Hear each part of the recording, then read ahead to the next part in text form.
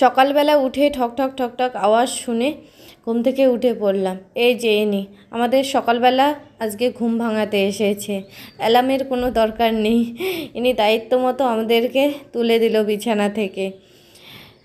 যত জোরে জোরে ঠক ঠক করছিল এই পাখিটা, মনে হচ্ছিল যে জানালার দরজা একটু পরে ভেঙে দিত, এরকম অবস্থা।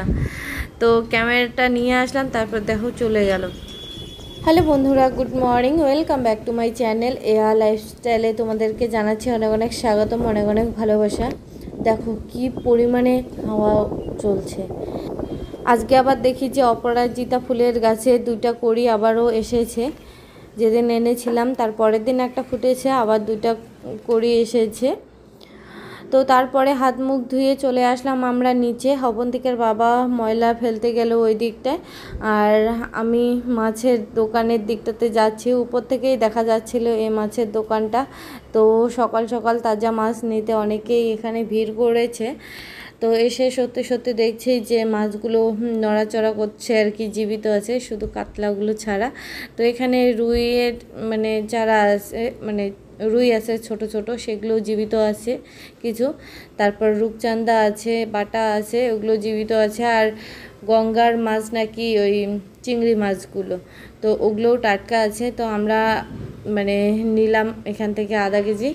তো নিয়ে কাটতে দিয়ে আমরা চলে আসলাম সামনের দিকে। সামনের দিকে না, পেছনের দিকে। না না, সামনের দিকেই বলব, পূর্ব দিকে যাচ্ছে।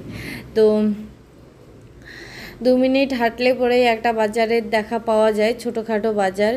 এখানে বসে দুই তিনটা সবজির দোকান আর গ্রোচারি সব আছে, দুধের দোকান আছে। আছে মিষ্টি ফিষ্টির দোকান। তো দেখছি এখানে কী কী পাওয়া যায়, না যায়। আর এর আগের দিন এই বাজারটাতেই এসেছিল অবন্তিকার বাবা, কিছুই পাইনি। তো আজকেও সেই রকমই পরিস্থিতি ছিল। তারপরে আমরা দুই স্বামী স্ত্রী মিলে চলে গেছিলাম চলে গেছিলাম আর কি কন্যাগর স্টেশনের ওই দিকের বাজারটায়। ওখান থেকে নিয়ে আসলাম দুধ, তারপর মাছ তো নিচ থেকেই নিয়েছি। তারপর অবন্তিকার বাবা একদম টাটকা মাংস কাটা দেখে আর কি মন মানছিল না ওর। তারপরে আর কি মাংস নিয়েছিল। তো নিয়ে বাড়ি চলে এসেছি। হাত মুখ ধুয়ে আবারও দুধটা গরম করে দিয়ে আমি কেলক্সটা দিয়ে দিচ্ছি ওদেরকে। দুজনের কেন? আমি খাব না? তো তোমার আর ও তুমি নিজেরটা করনি? শুধু আমাদের কথা চিন্তা করছ? তুমি আগে নিজের কথা চিন্তা করো নাহলে তুমি অসুস্থ হয়ে যাবে। তোমাদের ভাব দেখলে না আমি পাগল হয়ে যাই। হওনি এখনও না?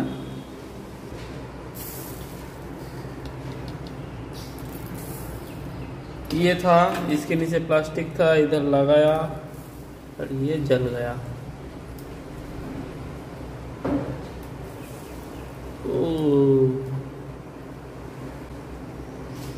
দেখো है नहीं দাঁড়া আগে লেখাটা কমপ্লিট কর ও তখন মানে ইয়ে হয়ে যাবে ঠান্ডা হোক ঠান্ডা না ওই সেদ্ধ দেবে খাওয়া দাওয়া খা খা খা তাহলে খাই নে আগে আমিও খেয়ে নিচ্ছি আগে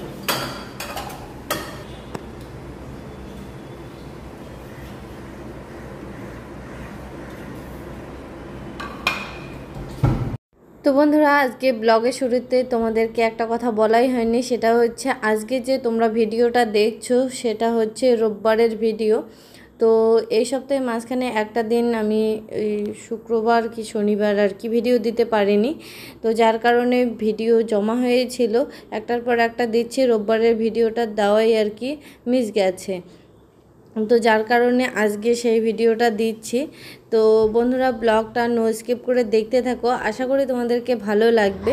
তো বন্ধুরা, ওদেরকে কেলক্স খেতে দিয়ে আমি এইদিকে মাছ, মাংসগুলো বেছে নিচ্ছি। তো মাছগুলো না কেটে বেছে দিয়েছে। তারপরেও আমার মনে খুঁতখুতানি আছে। তো তারপরেও আমি চেক করে দেখতেছি যে ওই চিংড়ি মাছের ভেতরে যে সুতার টাইপের একটা নার থাকে, তো সেটা বের করেছে কি না ঠিকঠাক? তারপরে মাথায় যে একটা ময়লা টুকলি থাকে, সেটা বের করেছে কি না?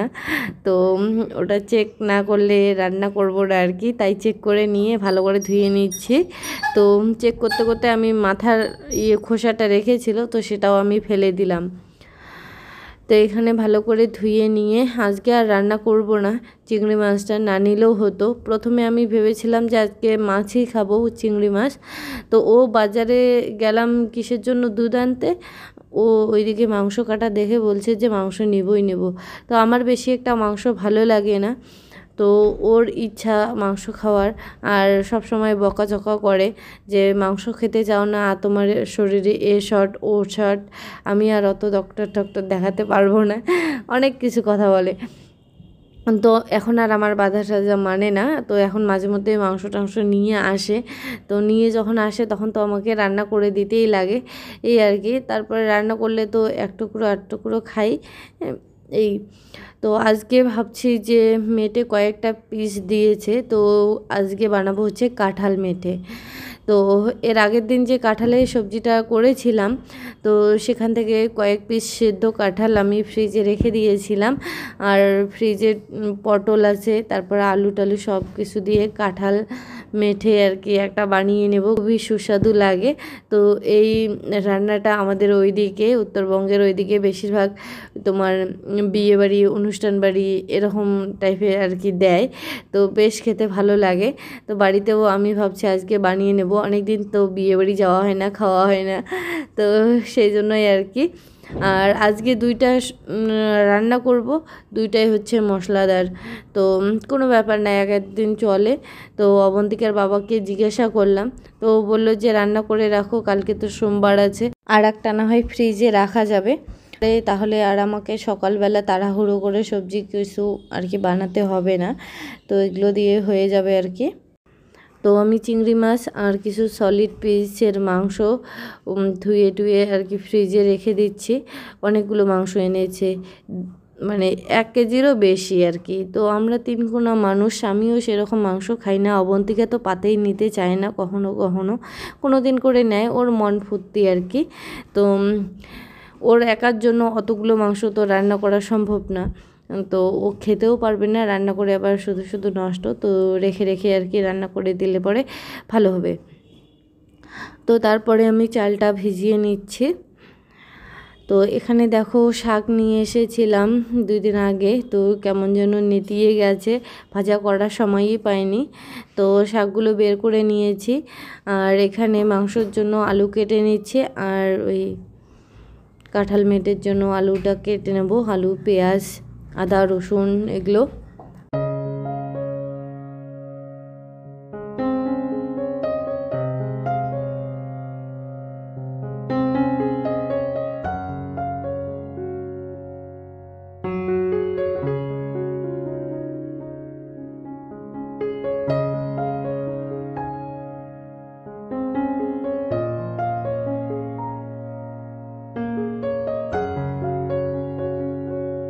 শাকগুলো এখানে আমি কেটে বেছে ভালো করে ধুয়েও নিয়েছি।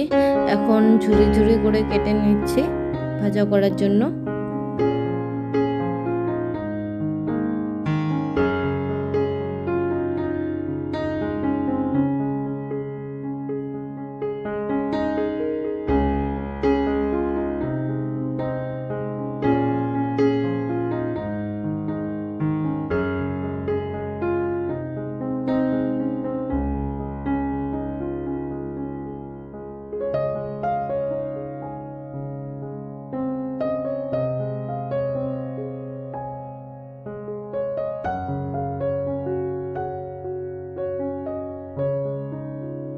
তো বন্ধুরা, সকালবেলা উঠে আজকে নিচে গেছিলাম আর হাঁটতে হাঁটতে অনেকটা পথ হেঁটে ফেলেছি। তো যার কারণে এত পরিমাণে খিদা লেগেছে না, কি বলব তোমাদেরকে?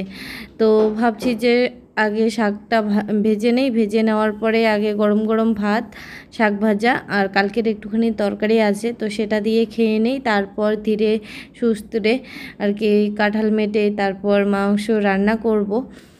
তো শাকটা ভাজলাম আমি, কাঁচা লঙ্কা আর রসুন থেতো করে দিয়ে সর্ষের তেল দিয়ে। তো এখানে অবন্তিকার বাবাকে খেতে দিয়েছি। অবন্তিকা গেছে স্নান করতে, এদিকে ওর ভাত আমি বেড়েছি আর ওইদিকে ও স্নান করতে গেছে। তো ওর অপেক্ষায় না থেকে আমরা খেয়ে, খেতে বসলাম আর কি। ও কতক্ষণে আসে, আসুক।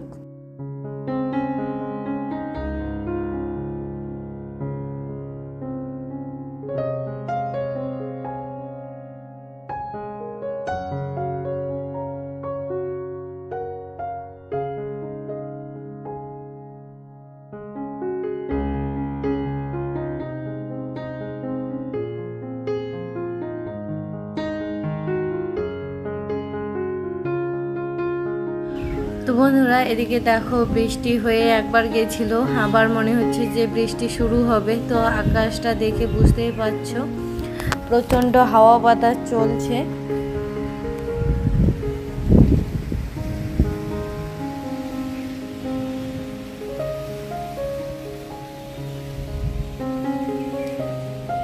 তো বন্ধুরা খাওয়া দাওয়া করার পর একটুখানি রেস্ট নিয়ে তারপর আবারও চলে আসলাম রান্নাঘরে। তো এবারে আমি রান্না করব প্রথমে হচ্ছে কাঁঠাল মেঠে তো তার জন্য কড়াইতে আমি দিয়ে দিলাম একটু বেশি পরিমাণে তেল। তো এক এক করে সমস্ত সবজিগুলো ভেজে নেব। তো কাঁঠালগুলো না ফ্রিজে রাখা ছিল, তো ফ্রিজ থেকে বের করে আবার একটুখানি সেদ্ধ করে নিয়েছি। তারপর এখানে লবণ, হলুদ মেখে আলুগুলো ভেজে নিচ্ছি। তারপর পটলটা তো দেখতে পেরেছ যে কীরকম সাইজ করে কেটে নিয়েছি, লবণ, হলুদ মেখে নিয়েছি। তো একে একে সমস্ত সবজিগুলো এখন ভেজে নেব। এদিকে আমার ভাজাটা হতে হতে আমি মশলাটাও রেডি করে নেব। তো দেখো এখানে সমস্ত সবজি আমার ভাজা কমপ্লিট হয়ে গেছে। কাঁঠালটাও ভেজে নিয়েছি, পটলটাও ভেজে নিয়েছি। তো বন্ধুরা, ওই ভাজা তেলের মধ্যে আমি দিয়ে দিচ্ছি হচ্ছে পেঁয়াজ কুচানো, তারপর দিচ্ছি রসুন থেতো করে রাখা, তারপর দেবো হচ্ছে কাঁচা লঙ্কা, তারপর গরম মশলা, গোটা গরম মশলা দেবো এর মধ্যে। যেমন ধরো, দারচিনি, লং, এলাচ একটুখানি থেতো করে নিয়ে এর মধ্যে দিয়ে দেব। দিয়ে দেওয়ার পর দিয়ে দেবো এর মধ্যে একটা তেজপাতা তারপরে মাংসর যে মেটে আর চর্বিটা আছে, তো সেটা দিয়ে লবণ, হলুদ দিয়ে ভালো করে আগে ভেজে নেব। মেটেগুলো ভালো মতো ভাজা ভাজা হয়ে যাওয়ার পর এর মধ্যে আমি অ্যাড করব হচ্ছে আগে থেকে বেটে রাখা টমেটো, তারপর আদা, রসুন, পেঁয়াজ, এই বাটাটা দিয়ে তারপর একে একে দেব হচ্ছে শুকনো গুঁড়ো মশলাগুলো। জিরে গুঁড়ো, ধনে গুঁড়ো, লঙ্কা গুঁড়ো দিয়ে একটুখানি জল দিয়ে ভালো করে কষিয়ে নেব। তো এখানে আমি এই মুহূর্তে অ্যাড করে দিচ্ছি আগে থেকে ভেজে রাখা সবজিগুলো, কাঁঠাল, তারপর পটল, আলুটা দিয়ে জল দিচ্ছি আর কি।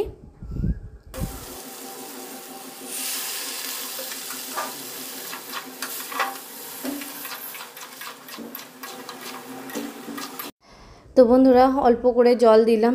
তো সমস্ত কিছুই আগের থেকে সেদ্ধ করা, ভাপানো, ভাজা, তো সেই জন্য আর বেশি জল দিলাম না সেদ্ধর জন্য। তো আর একদিকে আমি মাংসটা প্রেশার কুকারে সেদ্ধ বসিয়ে দিয়েছিলাম, তো সেদ্ধ হয়ে গেছে প্রেশারটাও ইয়ে হয়ে গেছে ছেড়ে গেছে, তো এখন মাংসগুলো বের করে নিলাম। তারপর আবার একটুখানি এর মধ্যে দিয়ে দিলাম হচ্ছে জল। জল দিয়ে এর মধ্যে দেবো হচ্ছে একে একে একটুখানি চিনি, তারপর ঘি, গরম মশলা দিয়ে নামিয়ে নিলেই হয়ে যাবে আমার কাঁঠাল মেটে সবজি। তো বন্ধুরা, আজকের এই রেসিপিটা তোমাদের কেমন লাগল অবশ্যই কমেন্ট করে জানিও। ভালো লাগলে লাইক কমেন্ট শেয়ার করে দিও। আর একটুখানি ভিডিও না স্কিপ হয়ে গেছে, তো সেটা হচ্ছে যখন আমি ঘি, তারপর চিনি, গরম মশলা দিচ্ছিলাম, তখন ভিডিওটা অন করতেই ভুলে গেছিলাম। তো এদিকে আমার সবজি রেডি হয়ে গেছে, নামিয়ে নিচ্ছি এখন।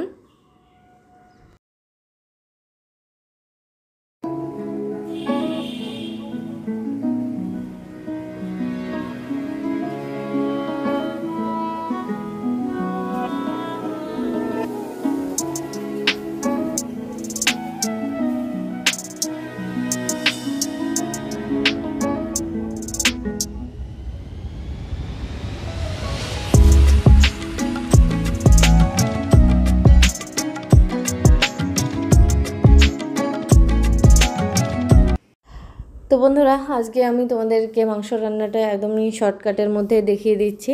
তো এখানে আমি প্রথমে আলুগুলো লাল লাল করে ভেজে নিলাম, তারপর নামিয়ে নিয়ে ওই তেলের মধ্যে দিয়ে দিলাম হচ্ছে একটুখানি হিং, তারপরে দিয়েছি পেঁয়াজ, আদা আদা না রসুন কুচি, তারপর গরম মশলা মানে দারচিনি, লং, এলাচ এগুলো দিয়েছি। দেওয়ার পর ভালো করে ভাজা ভাজা করে নেওয়ার পর আমি এর মধ্যে আগে থেকে সেদ্ধ করে রাখা মাংসটা দিয়ে দিলাম। তারপরে এর মধ্যে আগে থেকে পেস্ট করে রাখা ওই সেম মশলাটাই দিয়ে দিলাম। তো তারপরে ভালো করে ভাজা ভাজা করে নিয়ে এর মধ্যে শুকনো গুঁড়ো মশলাগুলো অ্যাড করছি, জিরা গুঁড়ো, ধনে গুঁড়ো, লঙ্কা গুঁড়ো। অ্যাড করার পর ভালো করে ভাজা ভাজা করে নেওয়ার পর এর মধ্যে দেব হচ্ছে একটুখানি কষানোর জন্য জল। তো যে যে জলটা দিয়ে আর কি এই মাংসটা সেদ্ধ হয়েছে, তো সেই প্রেশার কুকারের জলটাই এর মধ্যে অ্যাড করছে। তো প্রথমে আমি অ্যাড করলাম কষানোর জন্য, তারপরে আমি অ্যাড করব ঝোলের জন্য ওই জলটাই। আর এইদিকে কষানোর জলটা শুকাতে শুকাতে আমি বাসন কটাও মেজে নিচ্ছি ফটাফট করে। ওইদিকে আবার মেয়েকে, মেয়ের বাবাকে প্রচণ্ড পরিমাণে খিদা লেগেছে নাকি? মানে কি বলতো যেদিন একটুখানি ভালো মন্দ রান্না হবে, সেদিন ওদের খাওয়া দাওয়ার ইচ্ছাটা আর কি, রুচিটা দ্বিগুণ বেড়ে যায়, এই আর কি, কিছুই, তাছাড়া কিছুই না। তো মাংসটা এদিকে এক পর্যায়ে পোড়া পোড়া লেগে যাচ্ছিল, তো আমি ওইদিকে বাসন মাজতে ব্যস্ত হয়ে গেছিলাম। তো তারপরে আমি ঢাকনাটা খুলে, কাটানাড়া করে তারপর দিলাম হচ্ছে আলু আলু দেওয়ার পর ওই জলটাই দিলাম, দেওয়ার পরে আবারও সেদ্ধ হতে দিলাম। সেদ্ধ তো হয়ে গেছে, তো আলুগুলো আর কি সেদ্ধ হয়ে ভালো করে। তো তারপরে এদিকে বাসন কটা আবার ধুয়ে নিচ্ছি। তো যাই হোক বন্ধুরা, আজকের ব্লগটা তোমাদেরকে কেমন লাগল আর আমার রান্নাগুলো কেমন লাগল অবশ্যই কিন্তু কমেন্ট করে জানাবে। আর যদি ভালো লাগে তাহলে লাইক কমেন্ট শেয়ার করে দিও। নতুন বন্ধু হলে চ্যানেলটিকে সাবস্ক্রাইব করে দিয়ে পাশে থাকা বেল বাটনটি অল নোটিফিকেশনে ক্লিক করে দিবে। তাতে করে আমার নিত্য নতুন ভিডিও যখনই আমি আপলোড করব তখনই তোমাদের কাছে নোটিফিকেশন চলে যাবে। তো আজকের মতো এখানেই বলব না খাওয়া দাওয়াটা বাকি আছে।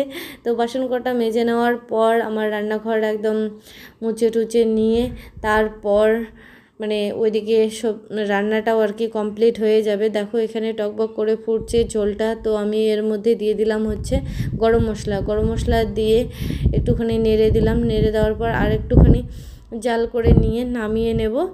তো ওইদিকে আমি ভাতটাও বেড়ে নিচ্ছি। গরম গরম এইদিকে মাংসটা রান্না হয়ে গেল সব কিছুই আর কি খাওয়া দাওয়াটাও সেরে ফেরি গরম গরমের মধ্যেই। আর তাছাড়া ওয়েদারটা ঠান্ডা না কোনো ব্যাপার না। এরকম ওয়েদারে মশলা, তেল, ঝাল আর কি খেতে বেশ ভালোই লাগে। তো যাই হোক বন্ধুরা, আজকের মতো ব্লগটা এখানেই। তো সবাই ভালো থেকো, সুস্থ থেকো, সাবধানে থেকো। দেখা হচ্ছে পরের আর একটি ব্লগের সাথে। আর অবশ্যই অবশ্যই করে লাইক কমেন্ট শেয়ার করে দিয়ে যেও। ভুলো না কিন্তু। টাটা!